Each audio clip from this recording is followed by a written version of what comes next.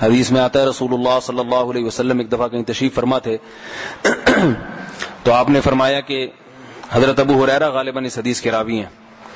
फरमाया कि दरवाज़ा बजा, आपने फरमाया कि ये जो जो भी है, इनको अंदर आने की इजाज़त दे दो और इनको जन्नत की बशारत दे दो। तो वो फरमाते हैं, रावी हदीस के मैंने देखा, फैदा हुआ अबू बकर की, अबू बकर रज़ी अल्लाह तु थे। आप सल्लल्लाहु अलैहि वसल्लम ने देखे बगैर फरमाया, इनको अंदर आने की इजाज़त दो और इनको जन्नत की खुशखबरी सुना दो। फिर दूसरे नंबर पे कोई आए, आप सल्लल्लाहु अलैहि वसल्लम ने यही फरमाया कि इनको भी अंदर आने की इजाज़त दो वबशिर हो बिल जन्ना और इनको भी जन्नत की बशारत दे दो। हदीस के रावी फरमाते मैंने देखा कि वो उमर इबन खत्ताब थे। तीसरे नंबर पे एक सहाबी हाजिर हुए, आप सल्लल्लाहु अलैहि वसल्लम ने फरमाया कि इनको भी अंदर आने की इजाज़त दो।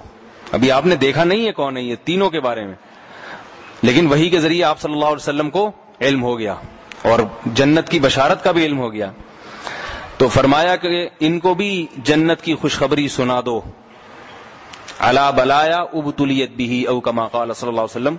उन आजमाइशों के साथ, जिन आजमाइशों में ये गुजरेंगे।